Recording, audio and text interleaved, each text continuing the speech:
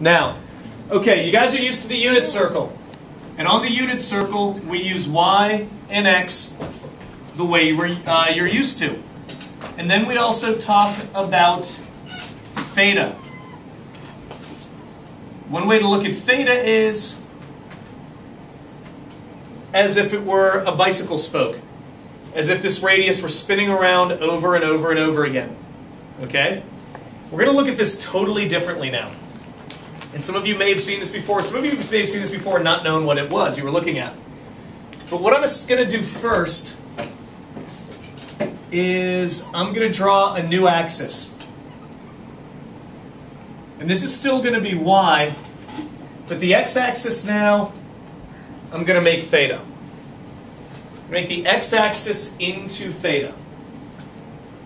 What we're going to be talking about is how this radius spins around the axis here.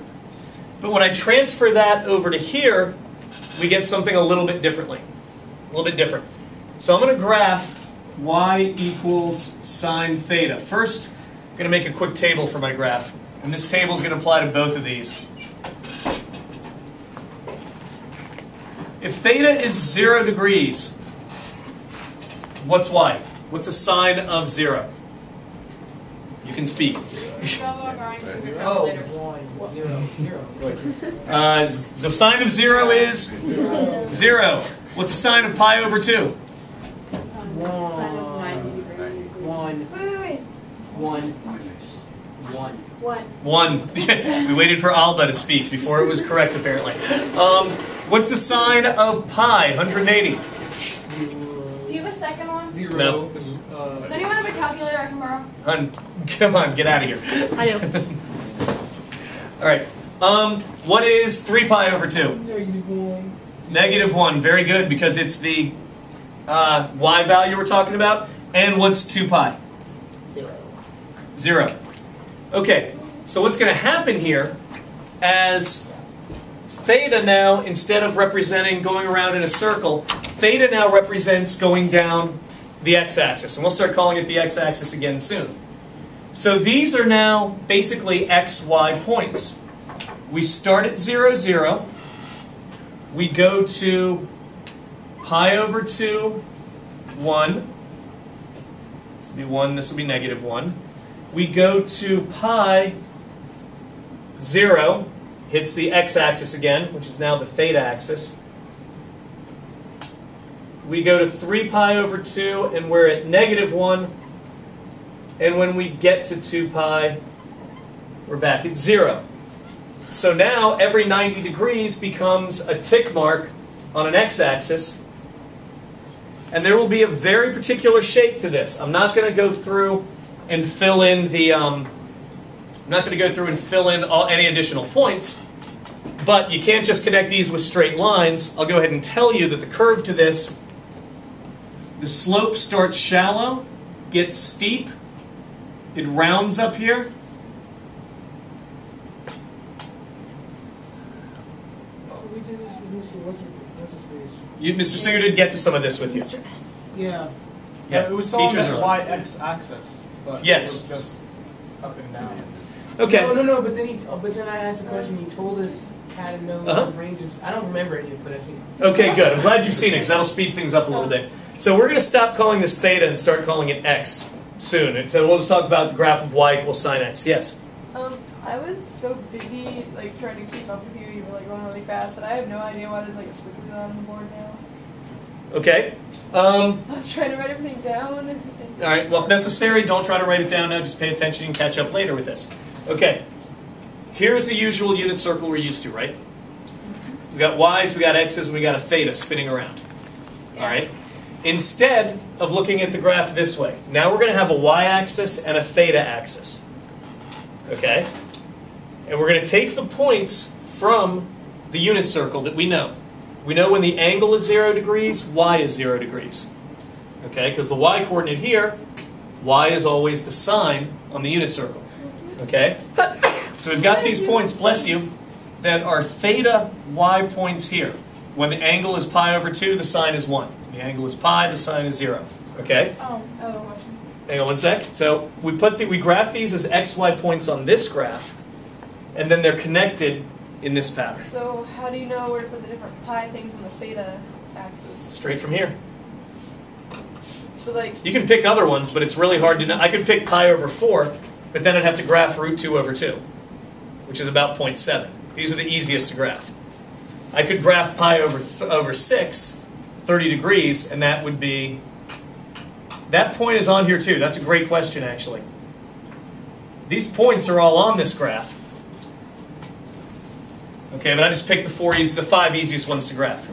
Megan. um, why didn't you, why didn't your little squiggly line go through pi over two? Why didn't it go through pi over 2? Um, Go go through it. Like it went up through pi and it went up to two pi, but you skipped pi over two and three pi over two. I didn't skip them.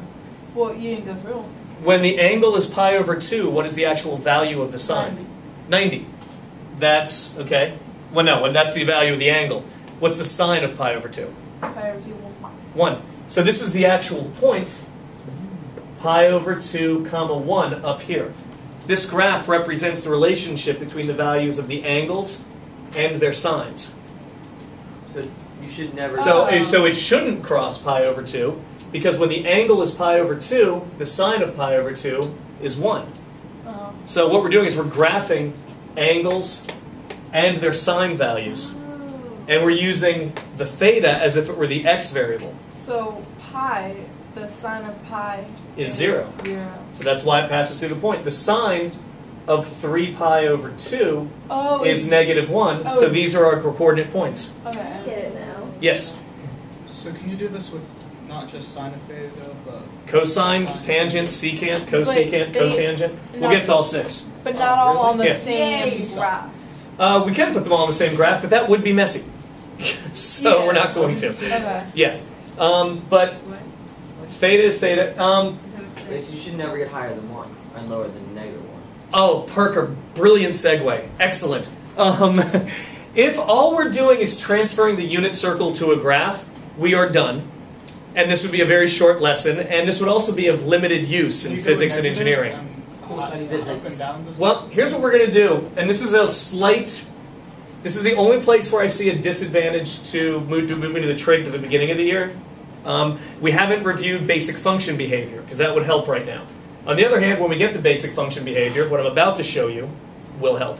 So come on over here, and Janan, you might have to bounce back and forth because I might have to refer back to that one. You got But it. um, her name? first name's okay. Are you gonna put her in like the credits? No. Modifying the sine function. And that's what this is now. This is an actual function. So it obeys all the rules of functions and I hope you remember somewhat from last year. Vertical line rule. Pardon? Isn't every proper graph you graph a function? No, because if it fails the vertical line test, it's a Oh, graph but not a function. Like the conics you did last year, Yeah. those weren't functions, except the parabola. Um, modifying the sine function. Okay, here are the modifications. And these modifications actually work for other types of functions. Um, Becca, you might have a little advantage here because you're used to the way I explained like counterintuitive up and down and left and right and intuitive intuitive up and down, counterintuitive left and right. So it's gonna be the same sort of thing. There's four things and the homework tonight's going to give you, the homework for the next few nights will only ask you to deal with one or two of them at a time, but eventually you have to deal with all four. Oh, great. I'm going to write this as y equals a times sine of b x minus c, all in parentheses, plus d. And I'm going to define these four different quantities. A, B, C, and D are going to be constants. They're going to be coefficients. Or just numbers sitting on the end by themselves. They're not going to be variables. The only variables here are x and y. So within one graph, these won't change. What we're looking at over here, what we just looked at, this first sine graph, is just y equals 1 sine of 1x minus 0 plus 0. On a regular sine graph, a is 1, b is 1, c is 0, d is 0. Here's what each of these things do. A is amplitude. Amplitude is distance from center axis. Amplitude is distance from your center axis. What's your center axis on this basic sine wave I did over here? Zero zero. The, Zero zero is the origin. Center axis is a line. the theta axis. The theta axis. You said it correctly. I was actually waiting for the x-axis, but I did label it the theta axis here, so that's correct. Yeah, and it's also the line y equals zero is another way to describe that. That axis is the middle. This regular sine wave, as Parker pointed out, if all you're dealing with is the, the stuff from the unit circle, it'll only go up to one and down to negative one. But if I put a coefficient here, that'll change how much up and down it goes. That will stretch the sine wave. Okay? B is probably the most confusing one. What I'm about to give you is essentially a built-in conversion from radians to other numbers. Okay? And that lets you work with these. You'll see how these are manipulated more uh, later this week. But this coefficient B